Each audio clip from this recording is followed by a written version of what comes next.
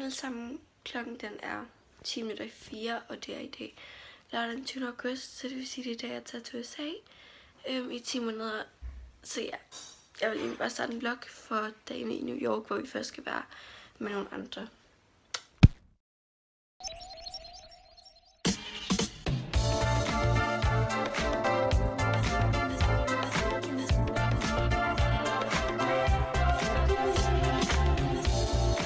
Ja, vi, er sådan, vi har sagt farvel til alle, og vi har tjekket ind, og vi har været igennem security, og det går bare rundt og tax-free, og nu skal vi lige prøve at finde en Starbucks, hvor vi lige kan få noget at spise. Ind. Okay, Starbucks er her. Hvor inden vi skal op på flyet, som flyver 10.25.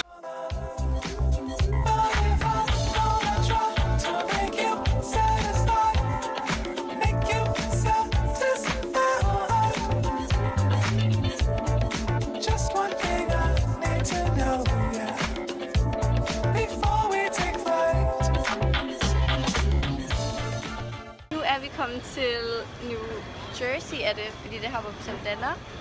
Og vi står lige her med alle kufferterne, fordi at der er nogen, der er inde og hente mad, og så skal vi andre ind og hente mad bagefter. Og klokken er kun sådan kvart i... Nej, kvart over to. Kvart over to, og derhjemme i Danmark der er kvart over otte. Så ja.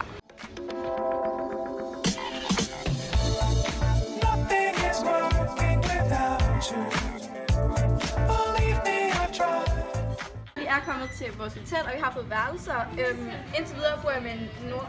Okay. Øhm, indtil videre bor jeg med en nordmand. Den tredje jeg ikke kom med, ved jeg, jeg tror, vi bliver tre i mit værelse. Øhm, ellers så bare lige ned i det sindssyge fitnesscenter. Det er seriøst det, der Og så går vi poolen bagefter.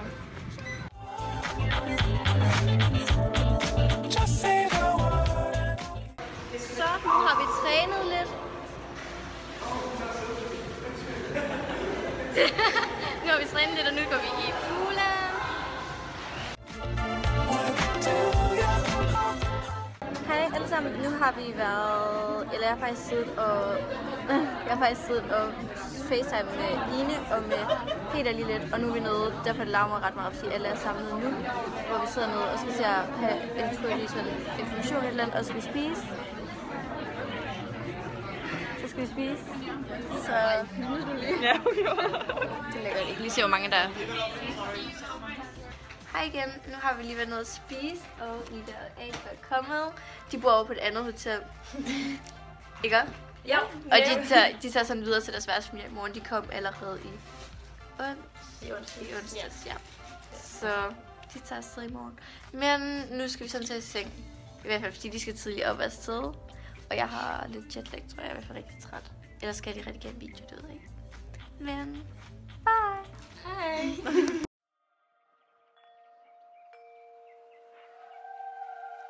Hej alle sammen, nu er vi stået op, og vi har spist morgenmad, og nu har vi lige lagt mig op sammen, også sådan fire piger. Og øhm, nu skal jeg finde noget tøj, fordi jeg har faktisk taget sådan helt hvidt tøj på, men der står, at det skal sådan begynde at regne klokken 5, øhm, og vi skal være på Manhattan til klokken 8. Så jeg kan ikke rigtig have hvidt tøj på, hvis det begynder at regne. Så jeg skal lige finde ud af det, og det er lidt svært for finde rundt, fordi at, øhm, jeg har rodet ret meget. Så ja, jeg skal finde tøj, og det er egentlig bare det, der skal lige nu. Så skal vi ned til et møde klokken 9, øhm, sådan noget Adapting to America, og så efter det, så skal vi to Manhattan.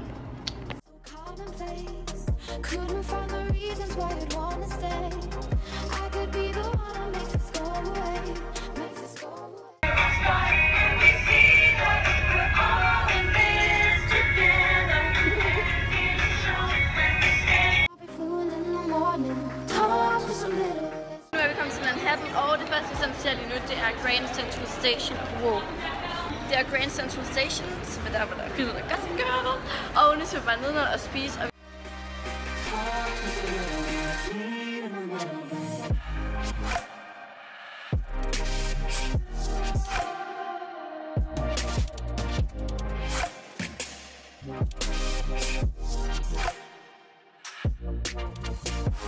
Thank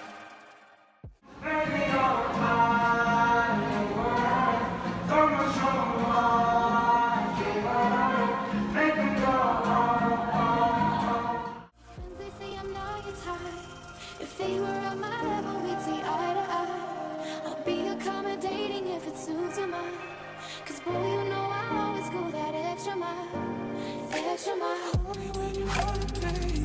You tend to forget everything I said. Still Five, four, three, two, one. Happy New Year! There's something about you that just keeps me compromising. Speak your language, I'll be fluent in the morning. Eh, nu er klokken 5, og vi har sådan været rundt og se alt det, vi skal se med den vi har haft. Øhm, og nu har vi bare sådan fritid indtil kl. 8, vej hen til Rockefeller noget. Det der skal efter det, så ser vi her med Times Square. Så det, måske går i nogle butikker.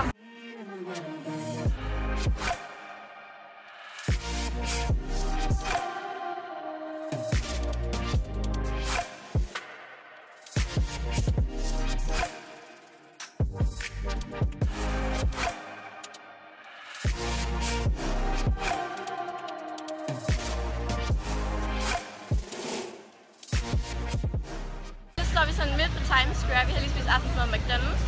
Og nu er vi... Og det er mega fedt, fordi det er sådan blevet mørkt nu, så vi kan rigtig se lyset og sådan noget. Det er bare vildt flot. Og okay, jeg, tager, jeg filmer lige en masse klip, så I kan se det.